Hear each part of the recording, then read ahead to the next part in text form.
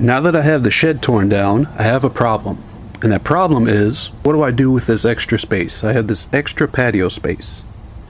And the solution I've come up with is to make a living willow structure, kind of like a pavilion or a pergola, something like that. You might even call it a gazebo, I don't know. And I made this model because I can't really draw that well, and this is a lot easier. There will be two big arches going across from side to side each one of those will have these two arcing pieces coming up to it from the end, just like that. And then there will be two uh, arches, a little bit smaller arches on either side. And we'll enter from this side.